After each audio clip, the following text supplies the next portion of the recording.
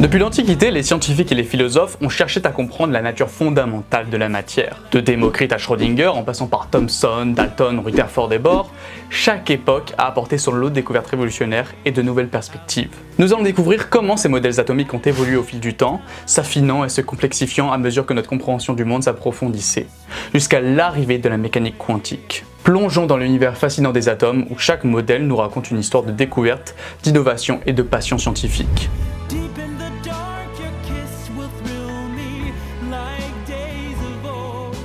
La conception même de l'atome a une longue histoire qui remonte à l'Antiquité.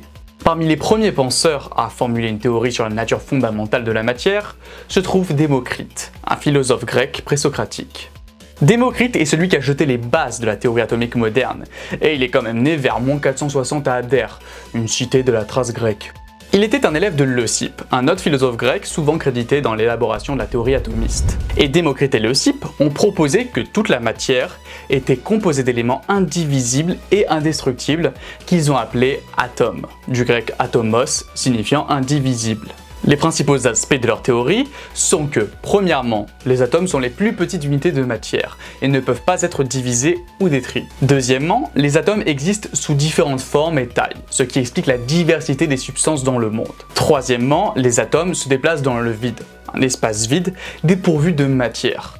Cette notion de vide était révolutionnaire car elle allait à l'encontre de l'idée dominante que la nature a horreur du vide. Enfin, quatrièmement, les propriétés d'un objet, que cela soit la dureté, la couleur et même le goût, tout cela dépend de la disposition et du mouvement de ces atomes.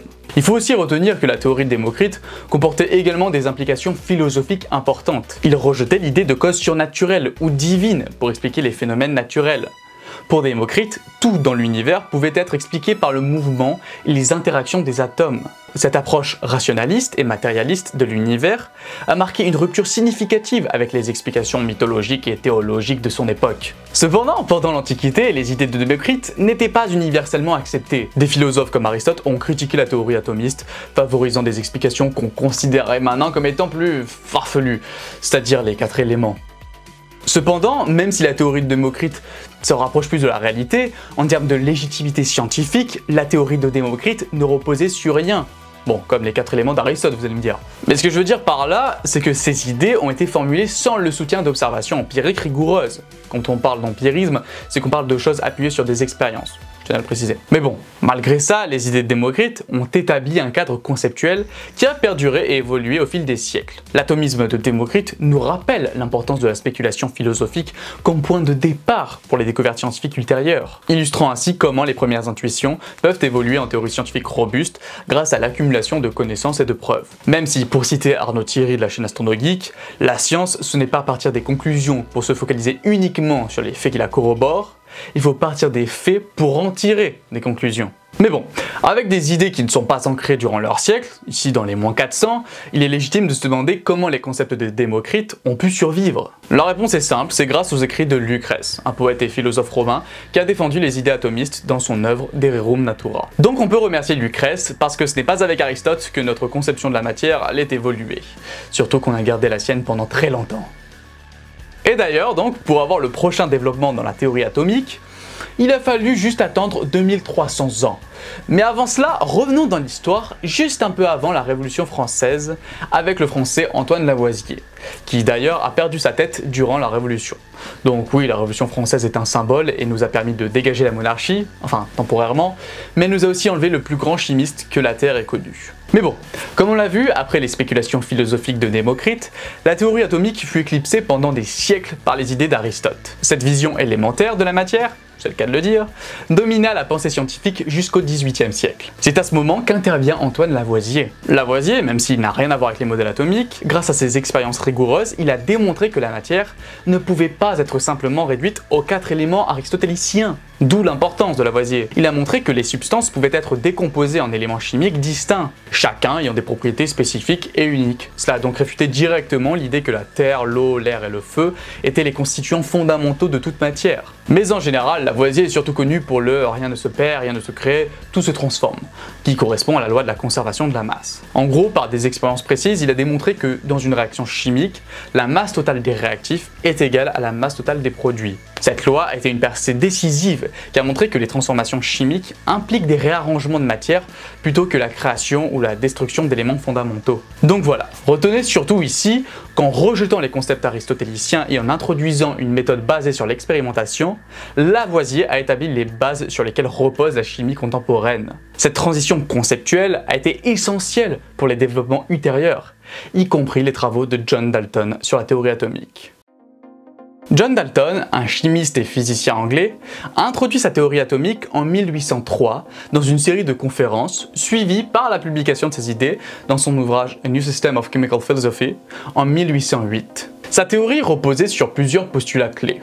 Premièrement, Dalton a proposé que toute matière est constituée d'atomes, des particules extrêmement petites et indivisibles comme pour Démocrite. Chaque élément chimique est composé d'atomes identiques qui diffèrent des atomes des autres éléments. Deuxièmement, contrairement aux idées antérieures, Dalton affirmait que les atomes ne pouvaient pas être créés, détruits ou même transformés en atomes d'un autre élément lors de réactions chimiques. Pour lui, et c'est là qu'intervient le troisième point, les composés chimiques résultent de l'union d'atomes de différents éléments dans des proportions définies. Par exemple, l'eau est composée d'atomes d'hydrogène et d'oxygène dans un rapport qui reste fixe, donc 2 pour 1.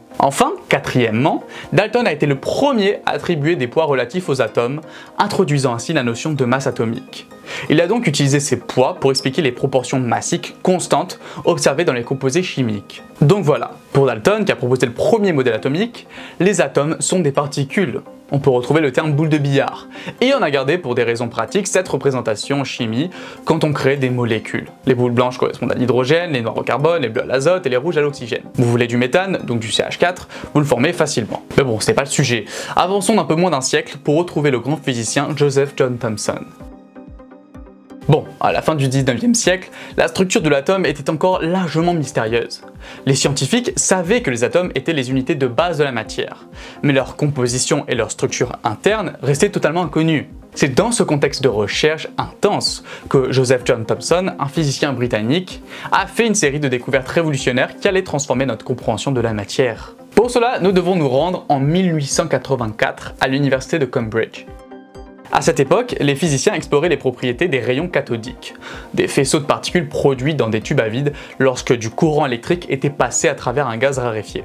Ces rayons avaient été observés depuis les années 1860, mais leur nature exacte était encore débattue et c'est en 1897 que Thomson a entrepris une série d'expériences pour étudier ces rayons cathodiques. Utilisant un tube à décharge spécialement conçu, il a fait passer les rayons à travers un champ électrique et un champ magnétique, observant la déviation de ces rayons sous l'influence de ces champs. Thomson a donc constaté que les rayons étaient déviés d'une manière indiquant qu'ils étaient constitués de particules chargées négativement. Bon, en mesurant l'angle de déviation de ces rayons et en appliquant les lois de l'électromagnétisme, Thomson a pu calculer le rapport entre la charge électrique et la masse de ces particules, E sur M. Ces résultats ont montré que ce rapport était beaucoup plus grand que celui des ions connus, ce qui suggérait que les particules étaient soit extrêmement légères, soit très chargées. Cette découverte a mené Thomson à conclure que les rayons cathodiques étaient composés de particules beaucoup plus petites que les atomes, qu'il a décidé de nommer corpuscules. Plus tard, ils ont appelé ça des électrons. Ainsi, Thomson a découvert l'électron, et cela a eu des implications profondes pour la nature atomique, car jusque-là, les atomes étaient considérés comme indivisibles et sans structure interne. La démonstration que les électrons, des particules subatomiques, existaient à l'intérieur des atomes, a montré que les atomes n'étaient pas les particules ultimes de la matière, mais qu'ils possédaient une structure interne complexe. Et c'est à la suite de cette découverte que Thomson a proposé un modèle de l'atome pour expliquer comment les électrons étaient organisés. En 1904, il a suggéré que l'atome était composé d'une sphère de charge positive dans laquelle étaient incrustés les électrons négatifs, comme des raisins dans un plum pudding. Ce modèle cherchait à expliquer la neutralité électrique des atomes, la charge positive équilibrant donc la charge négative des électrons. Par contre, ce modèle du plum pudding n'a même pas réussi à survivre 10 ans. Mais heureusement pour Thomson, on lui a donné le prix Nobel, deux ans après son modèle, donc en 1906. Il a donc reçu le prix Nobel de physique pour ses recherches sur la conductivité électrique dans les gaz, ainsi que pour sa découverte de l'électron. De plus, son travail a ouvert la voie à de nombreuses autres découvertes en physique atomique et subatomique. Et c'est un de ses élèves qui a fait avancer les choses après lui. Ernest Rutherford, un des élèves de Thomson, est un physicien néo-zélandais et est largement reconnu comme l'un des pères de la physique nucléaire. L'une des expériences les plus célèbres de Rutherford est l'expérience de la feuille d'or, réalisée en 1909. Dans cette expérience, des particules alpha, qui sont des noyaux d'hélium, chargés positivement donc puisque c'est des noyaux, étaient dirigées vers une fine feuille d'or. Selon le modèle de Thomson, donc le plum pudding, ces particules devraient passer à travers la feuille avec une légère déviation due à la répartition uniforme de la charge positive. Cependant, les résultats ont été surprenants. La plupart des particules alpha passaient effectivement à travers la feuille d'or sans aucune déviation significative. Mais une petite fraction était déviée à des angles très importants, et quelques-unes rebondissaient même en arrière. Ces observations ne pouvaient pas être expliquées par le modèle de Pump Pudding. Rutherford a donc interprété ces résultats révolutionnaires en 1911, et il a proposé que la majorité de la masse de l'atome, ainsi que toute sa charge positive, était concentrée dans une minuscule région centrale qu'il a nommée le noyau atomique. Selon Rutherford, les électrons orbitaient autour de ce noyau, un peu comme les planètes orbitaient autour du Soleil. Ce modèle, connu donc sous le nom de modèle atomique de Rutherford, a remplacé très rapidement le modèle de Thomson. La découverte du noyau atomique a été une avancée majeure dans la physique. Elle expliquait non seulement les résultats de l'expérience de la feuille d'or, mais elle ouvrait aussi la voie à des recherches ultérieures sur la structure atomique et les forces nucléaires. Et encore une fois, c'est cette fois-ci un de ses élèves, Rutherford donc, qui a fait avancer les choses dans les modèles atomiques. Niels Bohr, un physicien danois qui est sans nul doute l'une des figures les plus influentes du XXe siècle dans le domaine de la physique. Ses contributions à la compréhension de la structure atomique ont radicalement transformé notre compréhension des atomes et de leur comportement. Niels Bohr a proposé son modèle atomique en 1913 et il a porté ses idées révolutionnaires en s'inspirant des travaux de Rutherford et des principes de la mécanique quantique tout juste naissantes. Dans son modèle, Bohr a postulé que les électrons circulent autour du noyau en des orbites quantifiées. Contrairement au modèle de Rutherford où les électrons pouvaient théoriquement occuper n'importe quelle orbite, Bohr a suggéré que seuls certains niveaux d'énergie étaient permis. Ces niveaux d'énergie quantifiés évitent la spirale continue des électrons vers le noyau, un problème insoluble dans les modèles antérieurs. De plus, selon Bohr, un électron peut passer d'une orbite à une autre en absorbant ou en émettant une quantité précise d'énergie correspondant à la différence entre les deux niveaux d'énergie. Donc il aspire ou éjecte un photon en gros. Cette idée expliquait parfaitement les raies spectrales observées dans l'émission de lumière par les atomes. Dans ce modèle, les électrons dans un atome n'émettent pas de rayonnement tant qu'ils restent dans une orbite stationnaire. Il faut vraiment retenir que les sauts d'un électron entre des orbites sont associés à l'émission ou l'absorption de photons, l'énergie de ces photons étant égale à la différence d'énergie entre les niveaux. Il faut vraiment retenir cette idée et ce principe. Mais bon, le modèle de Bohr a été initialement confirmé par son application réussie à l'atome d'hydrogène, expliquant les raies spectrales de l'hydrogène observées dans les expériences de spectroscopie. Ces raies spectrales correspondaient précisément aux transitions des électrons entre les niveaux d'énergie quantifiés postulés par Bohr. Mais bien que révolutionnaire, le modèle de Bohr avait ses limites. Il fonctionnait bien pour les atomes d'hydrogène et les ions qui comportent qu'un seul électron, mais échouait à expliquer les spectres des atomes plus complexes, avec plusieurs électrons. De plus, il ne prenait pas en compte les interactions plus fines telles que le spin de l'électron et l'effet Zeeman. Malgré cela, les découvertes de Bohr ont ouvert la voie à des théories plus avancées. Son modèle a servi de fondement à la mécanique quantique moderne, notamment aussi avec les travaux d'Eisenberg et de Schrödinger. Et d'ailleurs, Schrödinger, il a proposé le meilleur modèle atomique. Erwin Schrödinger est l'un des plus grands physiciens de l'histoire et il est à juste titre principalement connu pour ses contributions majeures à la mécanique quantique. En 1926, Erwin Schrödinger a introduit une équation qui décrivait comment l'état quantique d'un système physique changeait avec le temps. Cette équation, maintenant connue sous le nom d'équation de Schrödinger, est fondamentale pour la mécanique quantique. Dans cette dernière, nous retrouvons une notion clé qui est la fonction d'onde, notée psi? La fonction d'onde est un concept central en mécanique quantique et elle représente une description probabiliste de l'état d'un système quantique. Contrairement aux orbites définies du modèle de Bohr, la fonction d'onde de Schrödinger fournit des orbitales, qui sont des régions de l'espace où la probabilité de trouver un électron est élevée. Pour ceux qui découvrent un peu la mécanique quantique, il faut vraiment comprendre que les probabilités, et donc le hasard, sont inhérents à la mécanique quantique. Par exemple, prenons rapidement l'expérience de pensée du chat de Schrödinger. si on met un chat dans une boîte avec un piège qui a une chance sur deux de le tuer. À notre échelle, l'échelle macroscopique, le chat a une chance sur deux d'être mort et une chance sur deux pour qu'il soit vivant. Pour voir le résultat, nous devons ouvrir la boîte. Mais en soi, l'ouverture de la boîte ne va avoir aucun impact sur le résultat qu'on verra. En réalité, on a beau ne pas savoir, il est soit l'un, soit l'autre, soit mort, soit vivant dans la boîte. Le résultat est déjà déterminé. Cependant, si on prenait la physique de l'infiniment petit, donc la physique quantique, le chat est dans une superposition des deux états. Tant que nous n'ouvrons pas la boîte, le chat n'est pas soit mort, soit vivant. Il est à la fois mort et à la fois vivant en même temps.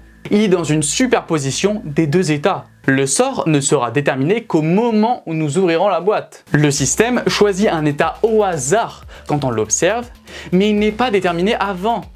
C'est le même principe avec une particule.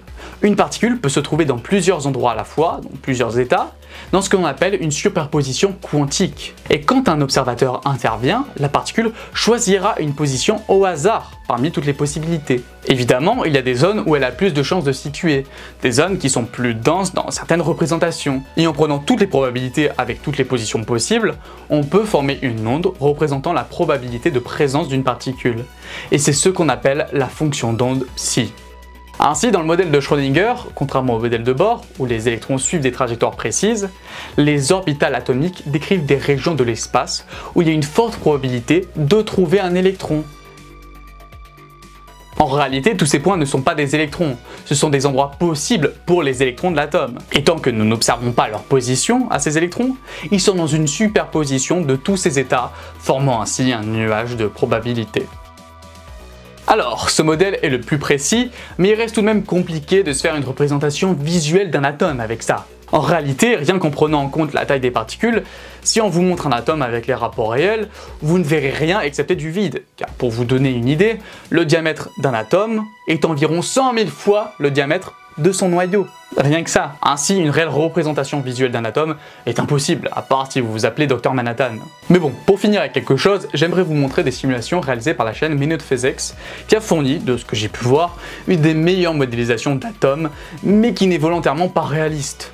Sa représentation est simplement très satisfaisante pour notre intuition classique et le but de cette représentation est de reprendre le concept de fonction d'onde en mécanique quantique et de l'appliquer ici en 3D. Dans ces atomes, toute la collection d'électrons représente la fonction d'onde. Chaque particule peut être la réelle position d'un des électrons de l'atome. Donc voilà, j'espère que finir sur ces représentations vous aura plu. Il me reste à présent à dire un grand merci aux tipeurs et rendez-vous dans la section communauté pour voter la prochaine vidéo.